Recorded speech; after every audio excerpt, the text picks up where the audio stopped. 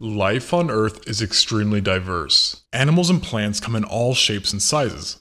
Some of them are cute, others intimidating, and then there are the ones that are just downright weird. However, it's generally agreed that despite the presence of weird life nowadays, the farther you go back in Earth's history, the weirder life gets. And perhaps life never got as funky as it did during the Triassic period. This time period saw a whole host of wacky and bizarre life forms, including the Atopodentatus and a variety of odd archosaurs. However, there was one family that really took weird to another level during this era the Plagiosauridae.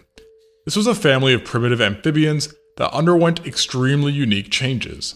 Changes that saw them essentially turn into flattened carnivorous pancakes?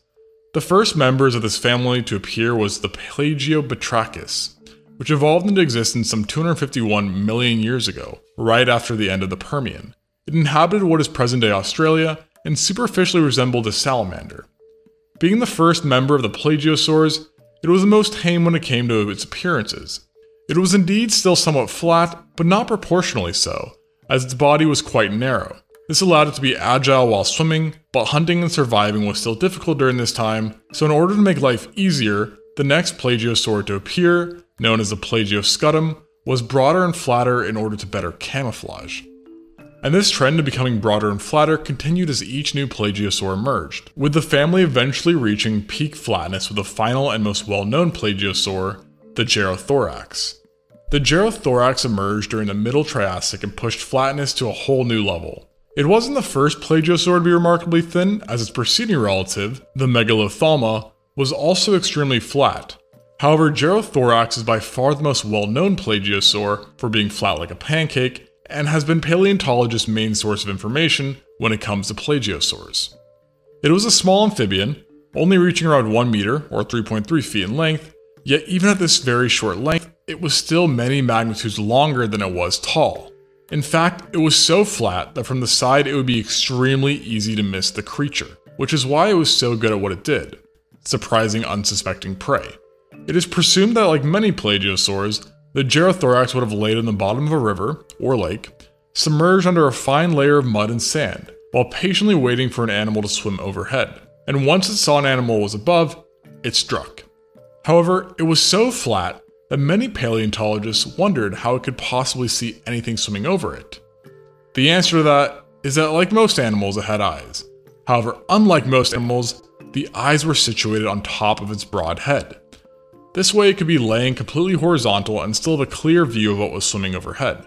And the oddities of this amphibian didn't end here, as along with its pancake like body and eyes on top of its skull, it also had a seriously strange bite. Most animals, including humans, take bites by lowering the bottom part of their jaws. Yet the Gerrothorax and other plagiosaurs, for that matter, took bites in the opposite fashion, opening the top half, kind of like lifting up a toilet lid. This also meant that when struck at a prey, its eyes were facing backwards, and since it wouldn't be able to see the prey when it was going for a kill, some paleontologists think that the plagiosaurs were suction feeders, because this way they didn't need pinpoint accuracy, although this is conjecture and still not 100% certain. With all the weirdness the Gerrothorax and other plagiosaurs had, it may come as a surprise that they were highly successful, as their strange traits were actually very useful for both hiding from danger and acquiring food and they were further aided by their alarmingly tough bony armor. It is known from specimens that the bones of Gerrothorax and other plagiosaurs were highly ossified, which indicates to paleontologists that they were covered in armor which was reminiscent of chainmail, as one paleontologist put it. Additionally, plagiosaurs possessed internal gills, meaning that they were further protected from external forces. This also meant that they were better at adapting to a wide range of environments, giving them a huge advantage. And the success of plagiosaurs was reflected in the evolutionary stasis the Gerrothorax experienced. In other words, paleontologists noted that through its existence, it did not go through that many evolutionary changes, which indicates that the carnivorous pancake body plan was actually quite a well developed design. The success of the odd plagiosaurs is also reflected by the survival time of the last member.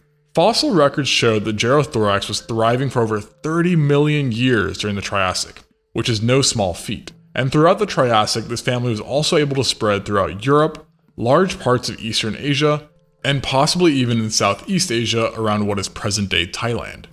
Yet, despite their sturdy nature and their wide range, the plagiosaurs were not able to withstand all that Mother Nature had to throw at them, as by the end of the Triassic, no plagiosaurs remained. Since they seemed to go extinct as the Jurassic was being ushered in, paleontologists believe that they may have perished in the Jurassic Triassic extinction event, an extinction event that is believed to have been caused by massive volcanic eruptions, which would have wreaked havoc on the climate, and eventually bringing down our favorite carnivorous pancaked amphibian.